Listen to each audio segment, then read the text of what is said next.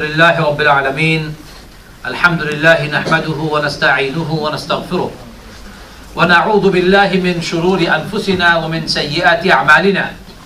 من يهده الله فلا مضل له ومن يضلل فلا هادي له. ونشهد أن لا إله إلا الله وحده لا شريك له. ونشهد أن سيدنا حبيبنا محمدا عبده ورسوله. أرسله بالحق بشيرا ونذيرا. وداعيا إلى الله بإذنه وسراجا منيرا أما بعد The brothers and sisters, I was preparing for Jum'ah, the khutbah itself, yesterday night, and I had prepared something completely different than what I'm going to talk about right now. The reason is this morning, my son said something very interesting and that changed my mind completely. He's six years old, and he said, I died when I was born. Everything that I do in life right now is like a dream. I will be born again when I die. When he said that, instantly it didn't dawn on us as to what he was saying. But reflecting on what he had said made me think hard and fast as to what and where that came from. Brothers and sisters, children have the most amazing innocent mind. When they speak, they speak with honesty and truth. They're guided by their fitrah, which is guided by Allah. They're guided by their innocence, which is again guided by Allah. And therefore they don't utter things unless it has some profound meaning. Of course, even in their play, there are great lessons for us to draw. So when he said that, I started thinking. The more I thought, the more I began to find myself baffled as to the depth of what he's talking about. You see, brothers and sisters, Allah uses in the Quran لِقَوْمِ يَتَفَكَّرُونَ as a phrase over 20 times. لِقَوْمِ يَتَفَكَّرُونَ for people who think.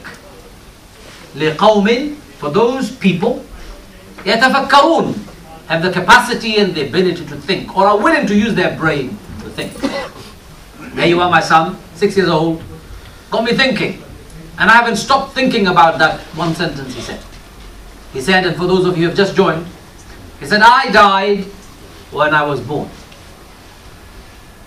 Everything that I do in life now is like a dream. I shall be born again when I die. And I want us to think deep and hard about our life and what we do with it, my brothers and sisters, on a daily basis. When was the last time you gave a thought, deep and profound, that impacted the way you would look at your future? When was the last time you thought and you stopped and you thought and you said to yourself, you know what, I haven't been thinking, I haven't been thinking enough, I've been just trotting along in life without real reflection. When was the last time you and I thought about the purpose of our life? When was the last time you stopped and thought about the method that you have adopted to realize your dream, the job that you do, the business that you run, the car that you drive, the phone that you use, the television that you watch? When was the last time you stopped and thought, what am I doing? Why am I here? What is the purpose of it all? Is this life the beginning or the end, or is it just a stepping stone for something bigger and more important to come? People who think. Allah has given special title for people who think. People of thinking. People who can think and reflect. My brothers and sisters, you cannot even you cannot even discover Allah without thinking. You cannot you cannot even discover your own self without thinking. You cannot discover anything in the world without thinking. In my view, the decline of the Muslim Ummah began when we stopped thinking. I want you to note this very categorically and carefully. The decline of the Ummah en masse began when we stopped thinking. I'll give you an example. If you go to Hajj or Umrah right now, Umrah right now, Hajj and the month when Hajj is, you will find Mecca full of people. In fact, more people go to Umrah than Hajj over a period of time.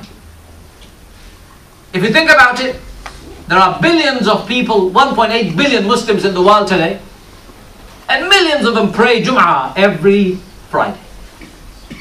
Millions of Muslims fast in the month of Ramadan, do Taraweeh, a long prayer at the end of Taraweeh every day for 30 days.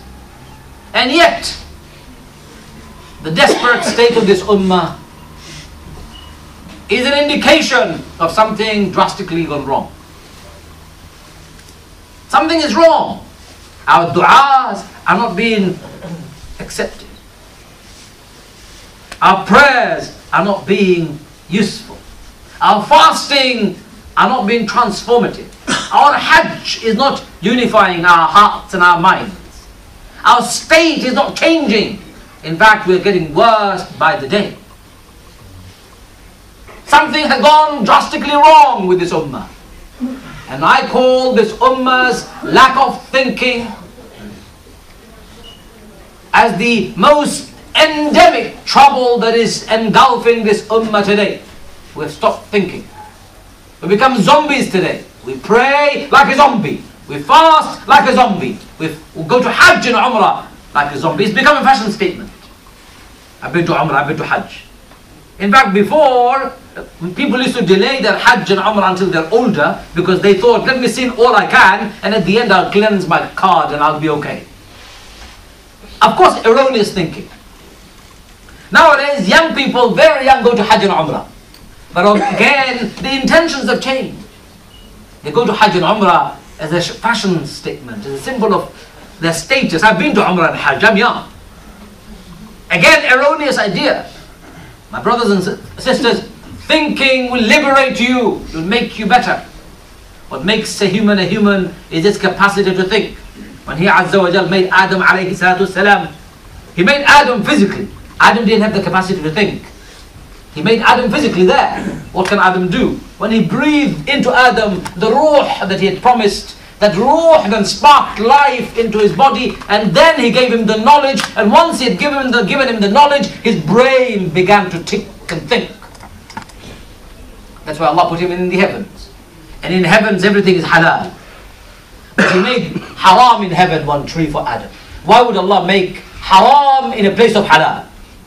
so that Adam could be tested, so that he can use his brain, so that he can establish right from, from wrong, so that Adam could be put to a test to see if he can think rightly and correctly. Brothers and sisters, the journey with Adam began, but journey of thinking hasn't stopped. But you and I have stopped thinking. We don't think enough. Why do you pray? What's the purpose of prayer? What is the purpose of prayer? You need to think. What good is prayer for you and I if there is no social benefit from prayer? Allah says it in the Quran, Inna salata tanha anil fahshay wal munkar. Prayer will prevent you from fahshay and munkar, evil and shameful deeds. And yet, evil and shameful deeds are not being prevented. Are we thinking? Muslims are a group of people today who are very emotionally charged but not reflective enough. Muslims are a group of people today who are very angry very quickly, but not thinking enough. Muslims are a group of people eager to fight and they give their lives, but not think about what they're doing. Just think about the consequences of the actions of a few people without thinking. Whether it is ISIS crisis, whether it is the troubles in Syria, whether it is troubles in Somalia, whether it is the dictatorial regimes ruling the Muslim world, whether it is the Nazi governments of Bangladesh, Pakistan, and any other, it's all the same. Lack of thinking. Lack of thinking. Lack of thinking. When British government, our government in this country, develops its policies, it thinks about 100, 200, 300 year impact. It does what we call short term, medium term, and long term strategies. What would my policy today manifest in 20 years, in 30 years, in 50 years, in 100 years, in 200 years? That's how they strategize. In 2001, when the neoconservatives in America wrote their ideals for for the year two, uh, for, for the century of 2000, they wrote that century of 2000 is going to be the American century. They were planning for the entire century, not for one day. It's going to be the century of America. What about Muslims? How do we think? Look at the stupidity of the lack of thinking amongst ourselves amidst where we live. In this country, this is our home. Opportunities galore. Everything is available for you to do good and excel. And yet we can't think without becoming crazy sometimes. Our boys and girls run away to join ISIS. What thinking do we have? What thinking do we have? Our teachers get prosecuted for wanting to join and fight ISIS. Six years in prison for a chemistry teacher for wanting to go and join ISIS to fight. What good is there to fight with ISIS, my brothers and sisters? A murdering regime, a despotic group of people gathered from all over the world wanting hell bent on violence, nothing else. That is not Islam. Think. Don't become emotional. Brother, it's an Islamic state. Khilafah has been declared. What? Any lunatic crackpot declares Khilafah and you want to give your allegiance to him? No. Islam has given clear guidelines, Sharia guidelines what is right and what is wrong. Who can be the Khalif? There are criteria. What of the what constitutes an Islamic state? There are guidance and clear guidance inept, uneducated, ill-educated, misguided, unthinking people cannot be the leaders of the ummah. Can't be. That's why in the Muslim world today, what's happening is reflected by a statement of Ali ibn Abi Talib. Ali ibn Abi Talib was resting, man came and complained, Ya Ali, why is there so much fitna at your time? When there was no fitna at the time of Abu Bakr and Umar. Ali looked at the man and he said something very beautiful. He said, Abu Bakr and Umar were ruling people like me, and I'm ruling people like you. If you want to know why crackpots, dictators and despots are ruling the Muslim world, just look at ourselves. Just look at the Muslim Ummah at large from Indonesia to Morocco. Just look at it. Look at the standard that we have. I'm talking about collective standards. Individually, there are people in this room across the Muslim world who are brilliant individually. I agree. They're super genius individually. But individuals don't make a society on their own. Individual effort, united, collected, organized, is what is an effective society. I believe lack of thinking, the waning of thinking has created that vacuum. Ask, you, ask yourselves the question, my brothers and sisters. Do you know to what capacity you can think? No, you don't. You don't even know the depth of the capacity that Allah has given you to think. You don't know where you can stop thinking. You don't. Because you don't know how powerful your brain is. Nobody knows the power of their own brain. And you carry it every day. You use it, you, you use it every day. If Allah wanted you to know the limits of your own thinking, He would have put a limit to your head. But He didn't. In other words, he has no he has not put any limit to how much you can think. That's why you're not punished for your thinking, alhamdulillah. You will be punished if your thinking becomes an action. But you're not punished for your thinking, remember that. Allah hasn't put a curtain around, boundary around what you can think and what you can't think. He's given you guidelines of the actions that emanate from your thinking. And if you go beyond the boundaries of Allah Azza wa Jal, you will face consequences, of course, in this world and the hereafter. But don't allow your mind to be narrowed to a small sphere. I call blinkered vision and blinkered manner of thinking. Think the unthinkable. Think the unimaginable. Don't get alarmed. Allah says in the Quran, uh, Rasul said, pray as though you can see Allah. Can you see Allah? No. Can you imagine Allah? No. And yet Rasulullah is saying, Allah is telling you and I to pray like as if we can see Allah. In other words, imagine Allah's presence right in front of you. You can't think of Allah physically because we have no form of what Allah looks like. We can't because it's beyond our brain. Our brain can't even fathom it. But you're encouraged to think of Allah's presence right in front of you. The unthinkable, the unimaginable.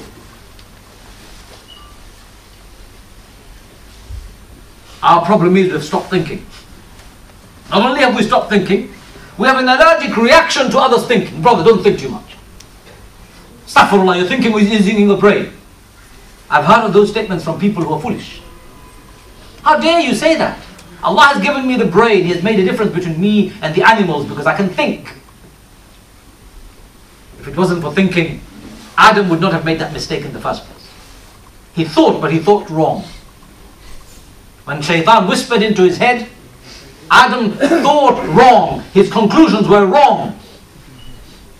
And because his conclusions were wrong, we know what is wrong and what is right. If Adam stopped thinking, you and I would be in big trouble. Brothers and sisters, think! لِقَوْمِ يَتَفَكَّرُونَ For without thinking, you are not a people deserving and worthy of Allah's blessings and esteem that He has promised. You and I are not worthy unless we think. In the Quran repeatedly, أَفَلَا يَتَدَبَّرُونَ Will you not then think? أَفَلَا تَعْقِلُونَ Will you not then conceive, understand? Constantly in the Quran, Allah is reminding us about thinking and reflection. In the Quran, Allah's name is repeated most often. Allah, the word Allah, is repeated most often. The subject of Allah, the topic of Allah is repeated most often. The subject of thinking is repeated as second most and second most frequent. The subject of thinking, contemplation. Fiqh is called thinking. لِقَوْمِ يَتَفَكَّرُونَ For people who can think. This entire guidance of Allah is useless for people who can't think. Brothers and sisters, thinking requires a process. Thinking requires rationale. Thinking requires your capacity and the development of your thinking. Thinking requires knowledge. You cannot think right unless you've got knowledge. I remember when I was traveling in one village I went, and the local agricultural officer was advising the local farmers as to how they should farm differently. And the local farmers rebelled, saying, Our forefathers had not farmed like this, we're not farming. so the agricultural officer said, Okay, go ahead. That year they had a devastating crop. The local farmer came back to advise them, saying, I told you so. So they changed their method and they began to yield better farm. We have the same story of the time of Rasulullah when a farmer was listening to the Prophet of Allah over an issue of farming and his farm didn't yield much fruit. He complained, Ya Rasulullah, you gave me the advice about farming. Prophet said, I'm not a farmer. I only gave you my advice. He didn't listen to it. Why? You need to think. The companions used to think. Even when Rasulullah would say think, uh, say things, they would think. When uh, Ka'b ibn Malik and two of his other companions did not go to Battle of uh, Tabuk. You remember the story? Ka'b ibn Malik was isolated from the community for 40 days. Nobody spoke to him. Long story, I'm not going to tell you the whole story, but the last part is beautiful. Rasulullah announced that Ka'b, we can talk to you. You're no longer in isolation or boycott. Ka'b came to the Prophet of uh, the, the, uh, the mosque of the Prophet. He said, Ya Rasulullah, I want to ask you a question. Did you forgive me, Ka'b? Or did Allah send you revelation?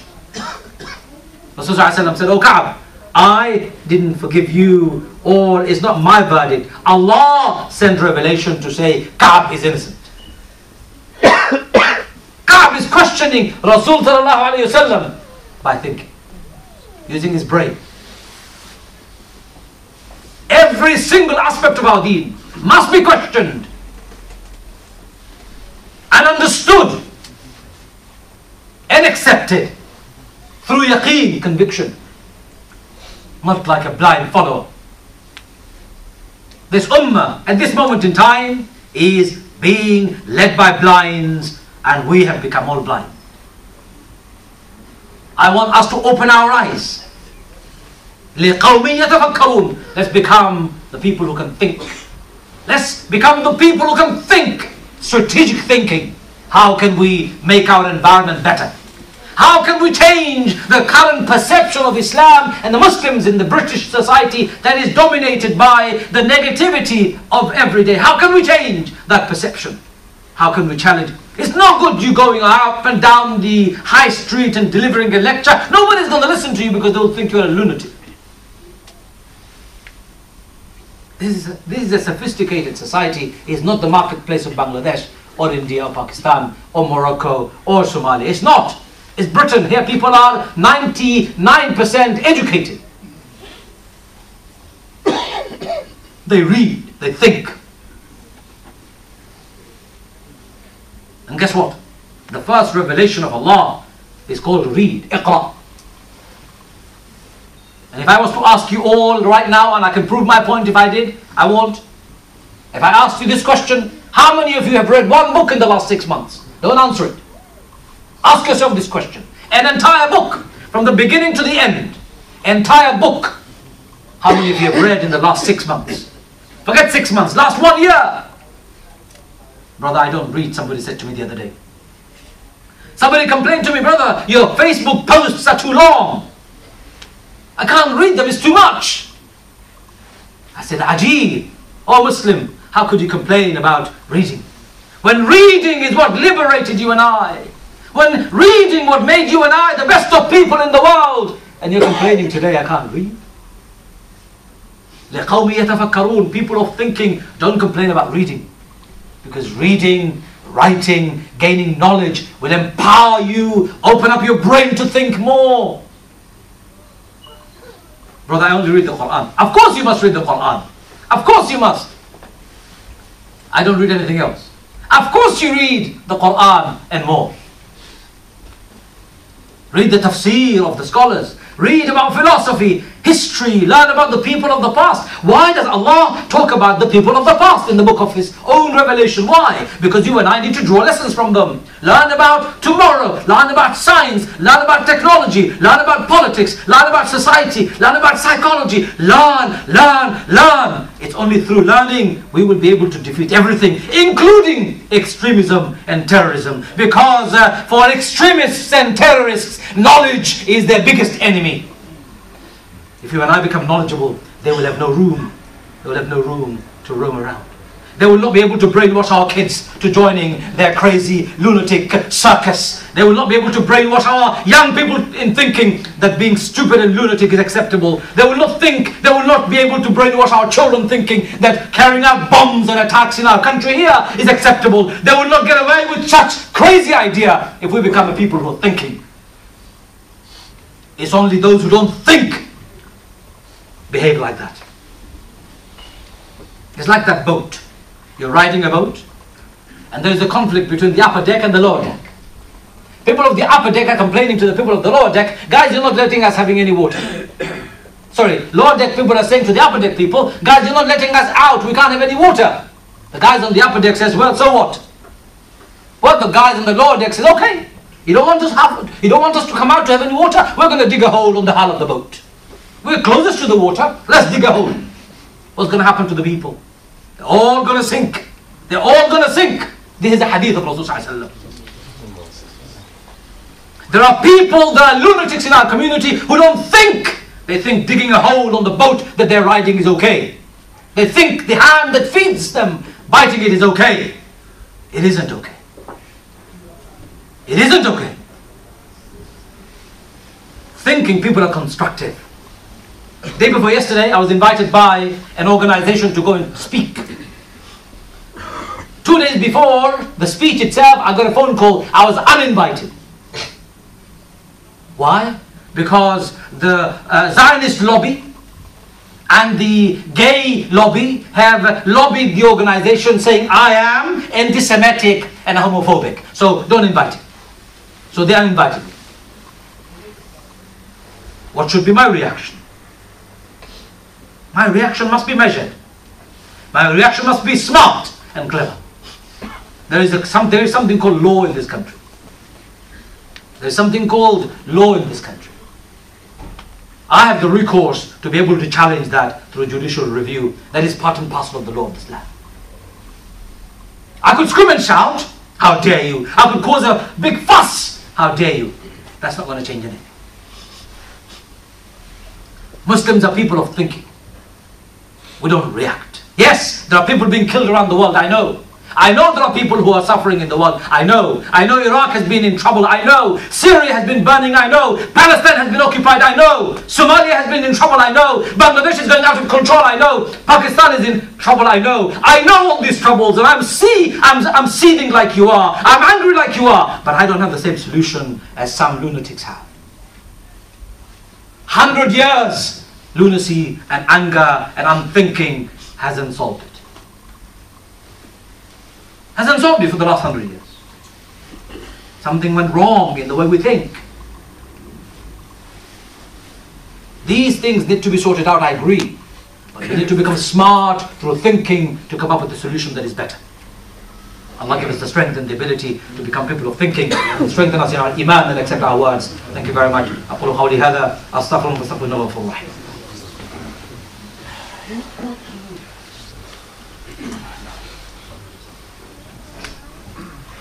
الحمد لله الحمد لله الذي كفى وسلام على عباده الذين اصطفى أما بعد Dear brothers and sisters, this morning I was reading a hadith of Rasulullah where Rasulullah said, Don't become hard and harsh on yourself, for Allah will become hard and harsh on yourself. Do you understand?